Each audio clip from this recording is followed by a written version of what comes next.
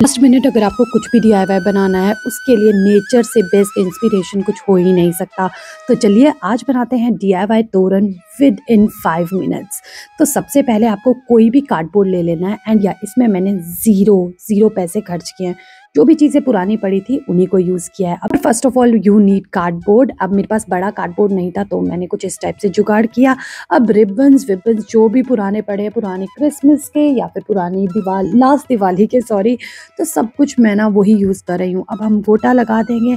हम एक बहुत ही छोटा सा, हरा सा तोरण बनाएँगे। एंड ये आइडिया ना मुझे सुबह आया, क्यों ना मैं कुछ ऐसा बनाऊँ, जो लास्ट मिनट बहुत आपके काम आ जाए, आप ट्राई कर सकें।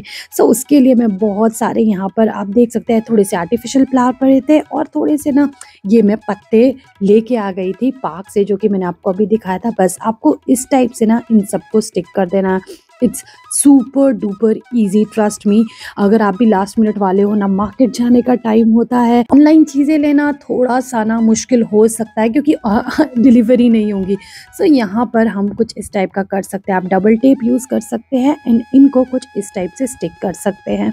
एंड आपको जो लेंथ रखनी है वो अकॉर्डिंग टू योर डोर रखनी है। तो पहले ही आप ये थोड़ा सा मेज़रमेंट ले लें। फिर मैं फूल लेके आई थी गार्डन से। अब बस उनको हम यहाँ पर स्टिक कर देंगे। एंड मेरे पास ये ना पुराने फ्लावर्स पड़े थे। अगर आपके पास आर्टिफिशियल फ्लावर ना हो, कोई बात नहीं, आप ओरिजिनल फ्लावर लगा सकते हैं, जो आपका मन हो, आप कर सकते हैं। अब ये मेरे पास पड़े थे थोड़े से मिरर अब मैंने उन्हें लगा दिया एंड हो गया हमारा डी तोरण रेडी ट्रस्ट मी पाँच मिनट से ज़्यादा नहीं लेगा ज़्यादा ज़्यादा दस मिनट लेगा आपके and that too zero cost के साथ। है ना, ये beautiful and do let me know अगर आप ट्राई करेंगे। सेकंड के लिए भी हम पत्ते या गोटा ही लेंगे, हम उससे ज़्यादा कुछ लेने वाले नहीं हैं। यहाँ पर अब फिर से मैं हर जगह ना स्टिक कर दूँगी ये टेप अगर आपके साथ डबल टेप है तो अच्छा है बट मुझे लगता है अगर स्टेपलर है आपके पास तो आपका काम बहुत जल्दी हो जाएगा। तो रादर देन यूजिंग टेप और सब कुछ, आप स्टेपलर का यूज़ कर सकते हैं, क्योंकि लास्ट में मैंने भी यही किया। सो आपको पत्ते लेने हैं, दो साइज़ के, एक बड़ा, एक छोटा।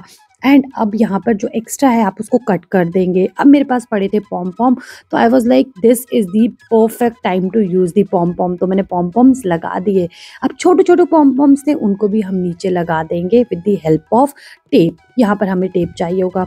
अब वही मिरर को हम थोड़ा सा यहाँ पर स्टिक कर देंगे सो दैट अच्छी सी वाइब आ जाए। अब मेरे को ना यहाँ पर एक ब्रांड से मिले थे, ये बहुत ही प्यारे मटैलिक कलर जो आप स्टोन में, जो आप लीव में कहीं पर भी यूज़ कर सकते हैं। तो अब मुझे लगा थोड़ा सा ना डिज़ाइन बना देते हैं, इसको इंडियन लुक दे देते हैं। सो हेयर वी गो वही मैं बना रही हूँ एंड अब हमारा तोरण ना बहुत दूर नहीं है, बस हम बनाने ही वाले हैं, ख़त्म ही होने वाला है। तो ये बहुत ही सिंपल दो DIY तोरण मैंने आपको बताया जो कि आप लास्ट मिनट बना सकते हैं। एंड आई होप आपको अच्छा लगा हो ये आज का DIY अगर अच्छा लगा हो तो please do let me know in comment section मुझे अच्छा लगेगा। सो so, ये हो गया हमारा D ready so I hope बहुत ही सिंपल लगा हो आपको। ज़्यादा कुछ ताम झाम हमने किया नहीं है। See you super duper soon in my next video till then stay safe stay happy and stay connected and या अगर आप ये ट्राई करें तो प्लीज़ मुझे इंस्टाग्राम में टैग ज़रूर करिएगा। Okay, bye.